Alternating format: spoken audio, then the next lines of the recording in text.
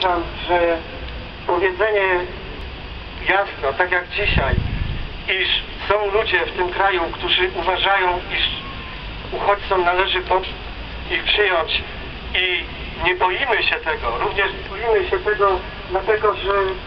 mamy swoją tożsamość i jesteśmy gotowi na przyjęcie nowych tożsamości, że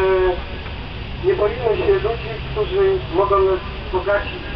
nie, ma, nie, nie, nie kieruje nami strach, a przede wszystkim, że kieruje nami solidarność, uczucie i otwartość.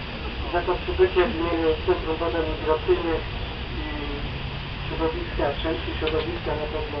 również akademickiego Poznania bardzo Państwu serdecznie dziękuję za